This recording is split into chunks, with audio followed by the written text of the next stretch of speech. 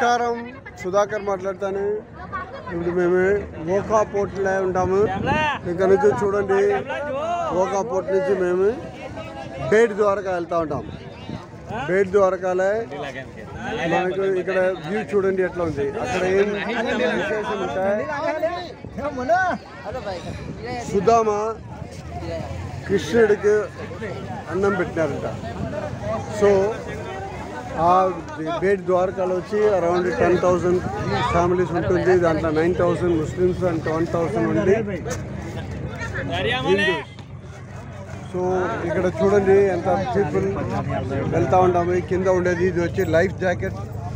So ఏమింత అయిందంటే seal so ఇది use చేస్తారు.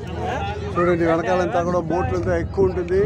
ఇది వచ్చి పాకిస్తాన్ బార్డర్లో ఉంటుంది. నెక్స్ట్ ఇక్కడ నుంచి కరాచీ బార్డర్ కరాచీ వచ్చింది పాకిస్తాన్ బార్డర్. ఇక్కడ సముద్రం అంతా బాగా నీళ్ళంతా బాగా ఫస్ట్ క్లాస్గా ఉంటుంది.